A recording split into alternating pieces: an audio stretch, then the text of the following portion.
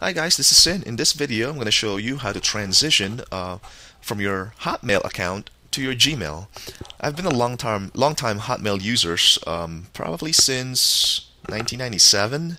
So I'm very attached to my Hotmail account, and the only reason I'm moving away from it uh, right now is because I've switched uh, to using my Mac primarily, and the Mac and Hotmail they don't like each other, so you can't really check your Hotmail account uh, on your Mac. Uh, however, you can check your Gmail account because Gmail supports IMAP. So, what's a long-time Microsoft Hotmail person to do? Well, you could use a third-party software like EasyMail, or third-party proxy server like EasyMail. But really, I don't really want to trust uh, other third-party software. If I'm going to use a third-party software, I might as well use Gmail or Hot or yeah Google, since I've had a Gmail account since 2005. So the idea is when somebody sends you an email, you want that email to get funneled into your Gmail account. So here's an example. I just got this email just now from Blizzard. Um, although you don't see it in my Gmail account yet, at some point in time, um, it will get transferred over to Gmail. It might take anywhere from 5 to 10 minutes. Uh, Google obviously does not fetch, there you go, you just saw it. Google does not fetch your email uh, from Hotmail in real time. It obviously has to do it at an interval. Uh, and I believe it does it anywhere from 5 to 10 minutes. I'm just guessing here. Uh, but it's often enough that you don't really notice the, um, the delay. So if I refresh my Hotmail account here, at some point that email will go away. So there you go. So you can see it just transferred my email from my Hotmail account into Gmail, which is really cool because now you can see here in Mail I have one new email. And indeed, it's from Blizzard. So which is kind of cool that you saw that in real time. So how is it set up? Well, it's set up quite simply. Well, perhaps not quite simply. You you know, one had to figure it out at some point. Uh, if you go to your settings, go to forward and pop IMAP. Uh, be sure that you enable IMAP because that's how you configure your mail um, in your mail app in, on your uh, Mac here. Then at some point in time, you want to go to accounts and import. You want to add your Hotmail account into your Gmail account, and you go here by clicking on the Add a POP3 account. So Gmail will actually access and read your Hotmail account using POP3, not IMAP.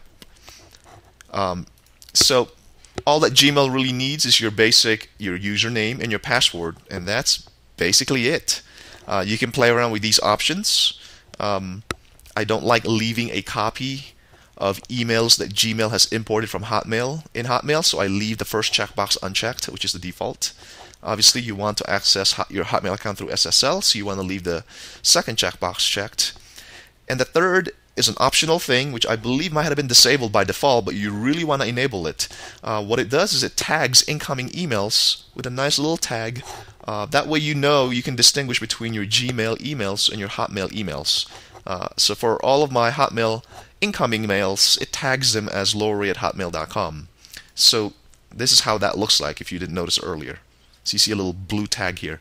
So if I have a, a brand new you know, Gmail email here, it'll look just like this, but it just wouldn't have this uh, blue tag here. It would actually have a different colored tag for my Gmail um, emails. So, and one other thing I wanted uh, to show you is I had about 3,000 emails that Gmail had to import from Hotmail. Um, in the beginning, probably in the first hour, I had this fourth checkbox checked uh, what it's essentially doing is it's telling Gmail, it's like, hey, for all the incoming messages from Hotmail, um, archive them. So what did that do? Well, it didn't put all 3,000 images in my inbox, as you can see here, which is great because I didn't want uh, you know all those emails uh, in my inbox, in my Gmail inbox. What it did do is it put them in a special folder, an archive folder called louiery@hotmail.com. Um, it created that folder by itself, uh, and this is where it moved or copied over 3,200 emails from my Hotmail account, which is awesome because I can see my Gmail uh, archive and my Hotmail archive in two different folders. So it kind of makes things pretty organized. So at some point in time when I noticed that it had finished transferring all the emails, uh, I went back to accounts and imports, uh, edited my account, and unchecked that checkbox and hit saved. Uh, that way, from, from now on, all new emails from Hotmail, as you saw previously uh, will show up in my Gmail inbox. Um, once that's all set up server side, you obviously just have to go to your mail, uh, go to preferences, you add an account, you add your Gmail account, you just type in your username and password, and mail does the rest. So you don't even have to set up, you know, or pay attention to whatever server or ports uh, it's using behind the scenes. Uh, mail just knows how to set up and how to access your Gmail account. Anyway, this is Sin. Uh, I just wanted to show you how you can access uh, your your Hotmail account uh, through Gmail uh, on your Mail app on your Mac, which is pretty awesome.